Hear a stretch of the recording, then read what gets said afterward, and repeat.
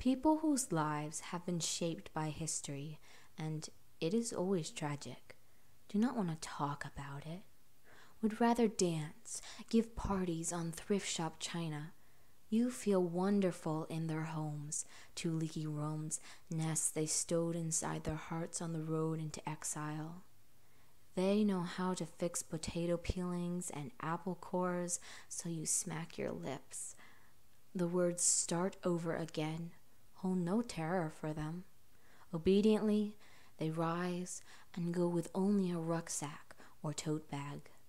If they weep, it's when you're not looking.